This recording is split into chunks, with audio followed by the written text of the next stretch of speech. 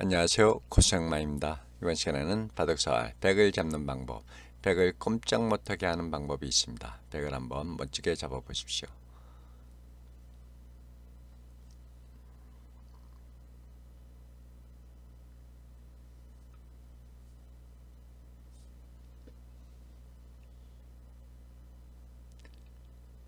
정답을 알아보겠습니다. 일단 이쪽은 단수를 쳐내야 되겠죠 단수 치면은 100이 아니올 수가 없습니다. 여기서 급소를 찾으면 되겠습니다. 여기서 어떤 급소가 있을까요? 바로 여기가 급소가 되겠습니다. 여기 났을 때 이을 수는 없습니다. 양단수가 돼가지고 안 되겠죠? 이쪽을 단수 치면 요게 따라 나오기 때문에 아 이게 감쪽같이 잡히게 됩니다. 그러면은 어디 둘 곳이 없는데요. 이거 따서 될 일이 아니죠?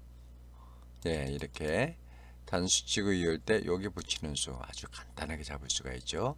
요 두 수만 아시면 되겠습니다. 이렇게 해서 바둑사활 100을 잡는 방법 알아봤습니다. 그러면은 다음 시간까지 안녕히 계십시오. 감사합니다.